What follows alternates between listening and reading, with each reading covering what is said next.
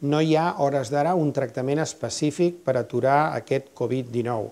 S'estan utilitzant diferents medicaments, alguns antivirals, altres d'altre tipus, que de moment, en casos anecdòtics, sembla que podrien ajudar a controlar determinats tipus de malaltia. Avui per avui no tenim encara l'evidència per recomanar si s'utilitza un o l'altre i s'estan treballant amb aquesta línia. El tractament és, doncs, majoritàriament sintomàtic, lleu, o sintomàtic amb suport vital avançat a les UCIs, si fos necessari.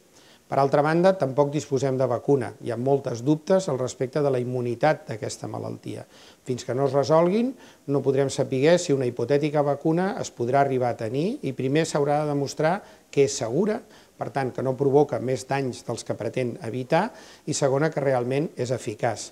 Amb les millors de les previsions, segur que aquesta temporada no disposem de vacuna, probablement estem a 12-18 mesos de tenir-ne, tant de bo en tinguéssim alguna.